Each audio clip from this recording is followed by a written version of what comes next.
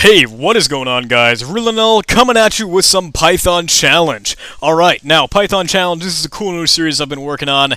Um, it's, it's an online riddle that you can solve with Python and other programming languages, and we're back on track. Alright, so, we just solved the sort of like first or preliminary puzzle, and now we're on this. This thing right here. A picture of a little notepad, I'm thinking, that says uh, K to M, O to Q, and E to G. Uh... I don't know what to do with that, but we might be able to figure something out. If we scroll down here, it says, everybody thinks twice before solving this. Alright, and uh, here is the text. Uh, we probably have to be converting some stuff through here. So, we're going to want to work with that. And the general tips, alright, it looks like use the hints. They're helpful most of the time. Investigate the data given to you and avoid looking for spoilers. Well, let's see what we can do.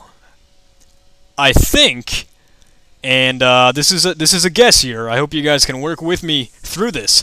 If we replace all the K's to be an M, all the O's to be a Q, all the E's to be a G in this string, maybe it'll make a bit more sense.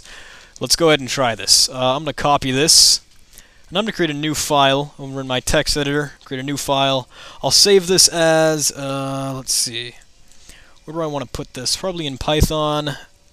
Python challenge. No, I don't want to that has some of my old files in there that I don't really want in there. Uh, how about YouTube? I'll just save it as challenge.py. Alright, that works well for me.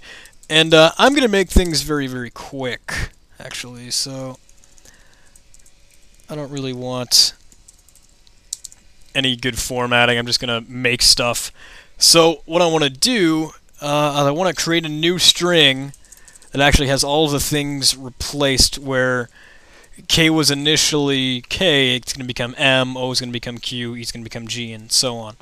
So let's let's hop over back to this new string equal nothing by default for letter in caption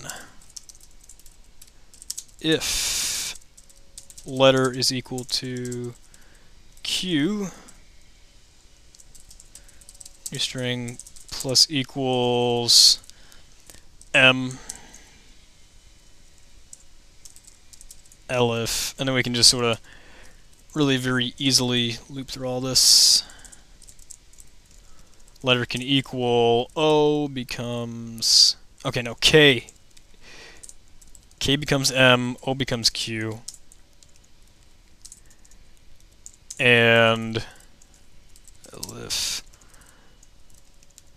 E becomes G, else new string can equal, well, you can add on the, the letter that we have here. Alright, and then we can just go ahead and print out the new string. Now if I run this,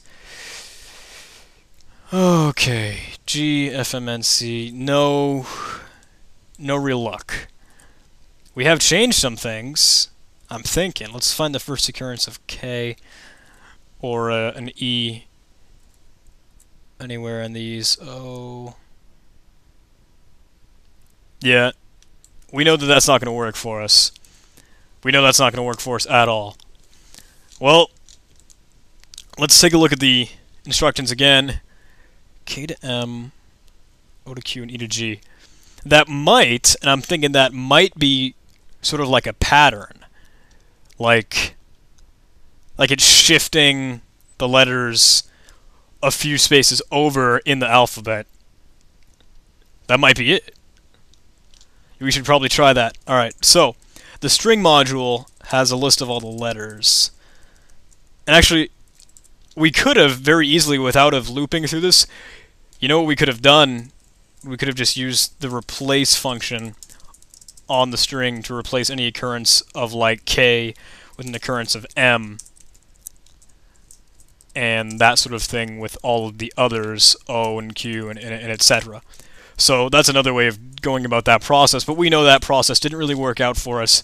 One, one, two, there's m, so like two spaces over.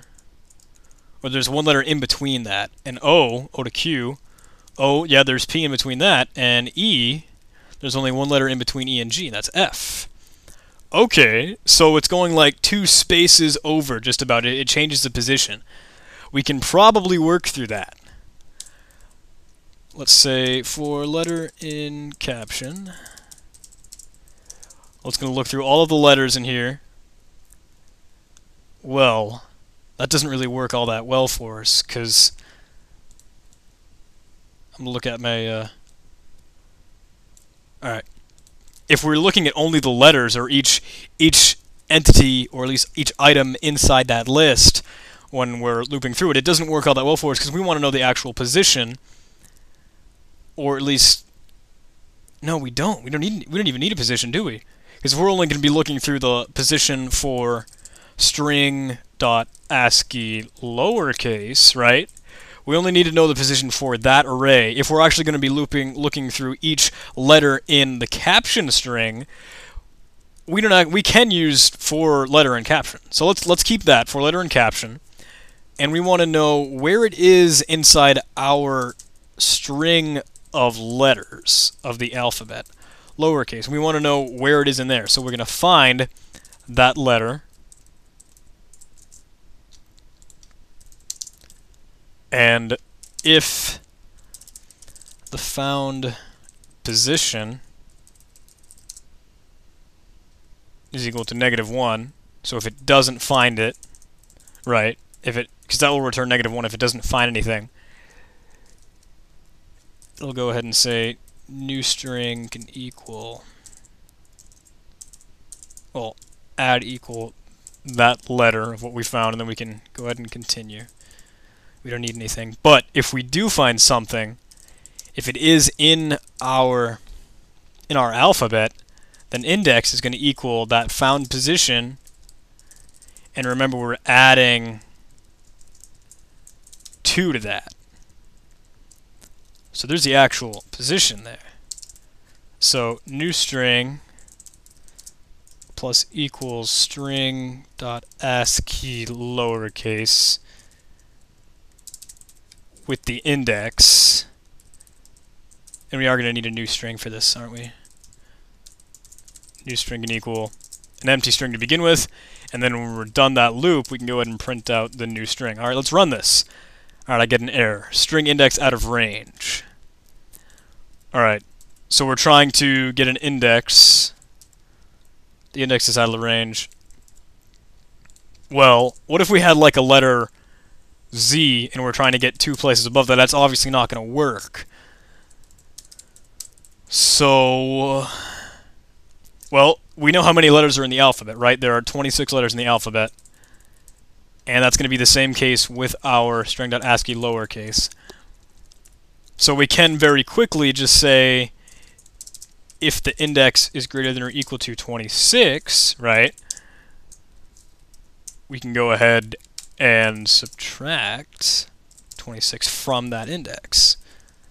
Alright, now let's try this. Ooh, ooh, we got it. I hope you didn't translate it by hand. That's what computers are for. Doing it in by hand is inefficient, and that's why this text is so long. Using string make trans is recommended. Now apply on the URL.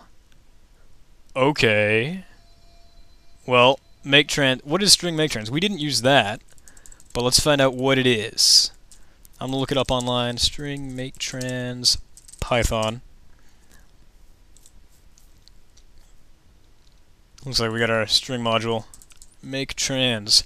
Return a translation table suitable for passing to translate that will map each character in from into the character the same position in to. From and to must have the same length. So, the way that I understand that is if we actually put in string dot ASCII lowercase If we run this, this is the new translation that we're going to be working with. So I can go ahead and pass that into make trans. Let's see, string dot make translation. The arguments it takes are from, which would initially be the actual alphabet, lowercase, and then we want to have this new one that we've just worked with, because where everything is shifted over two positions. What does that give me? Output not UTF-8. So that must give us the table. We can say table can equal string make trans. So translate s table, delete all characters from s that are in delete characters if present, and then translate the strings using table, which must be a 256 character string given to the translation for each character value. Okay, and we just created that